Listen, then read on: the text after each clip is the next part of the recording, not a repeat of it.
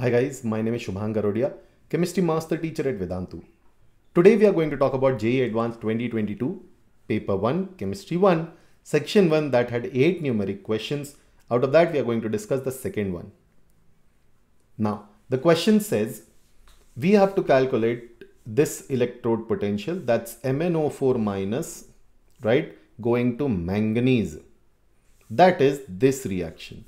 MnO4 minus takes up 7 electron, goes to manganese and we are supposed to find the electrode potential here. We have been given other three reactions. In the first case, permanganate goes to MnO2.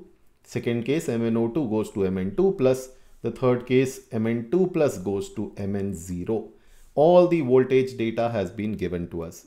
So one, the moment you see the question, you immediately jump to the conclusion that E4 naught should simply be written as sum of EI knots where I varies from 1 to 3 and our job is done. No, that will give you an incorrect answer. Why so? Because the target reaction is a half cell.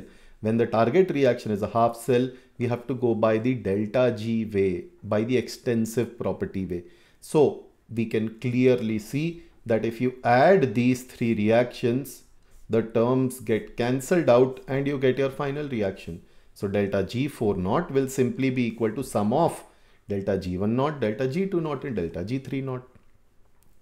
We know that delta G naught can be written as minus NFE naught where N is the number of electron transferred.